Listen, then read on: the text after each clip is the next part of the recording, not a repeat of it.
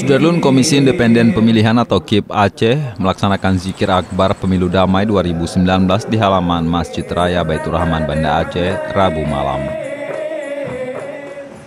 Zikir akbar tersebut dihadiri oleh Komisioner KPU RI Ilham Saputra, Komisioner KIP Aceh, perwakilan unsur Forkopimda serta sejumlah warga Banda Aceh.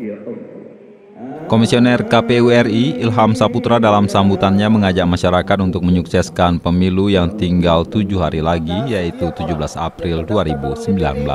Jadi saya berharap Bapak Ibu sekalian tidak ikut menyebarkan berita-berita bohong tersebut yang mengganggu dia meminta masyarakat untuk memanjatkan doa kepada Allah Subhanahu wa taala agar pelaksanaan pemilu di Indonesia secara umum dan Aceh khususnya dapat berjalan sukses. Dan akan dipimpin oleh Ustadz Zamburi SI. Acara Zikir Akbar itu juga menampilkan gambus dari Majelis Zikir Nurun Nabi.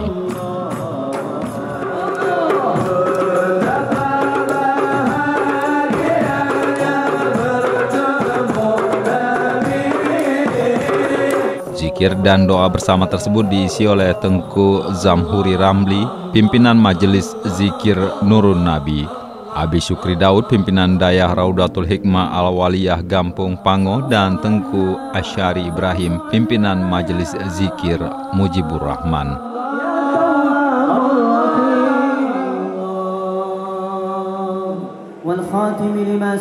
Kami bersyukur kepadamu ya Rabb. Saksikan ya Allah, malam ini kami bersungguh-sungguh memujimu ya Allah. Jauhkan mereka dari berbagai macam fitnah-fitnah ya Allah. Dan pertemukanlah kami nanti ya Rabb. Di tempat yang paling mulia ya Allah. Selamatkan iman anak-anak kami, keluarga kami ya Allah.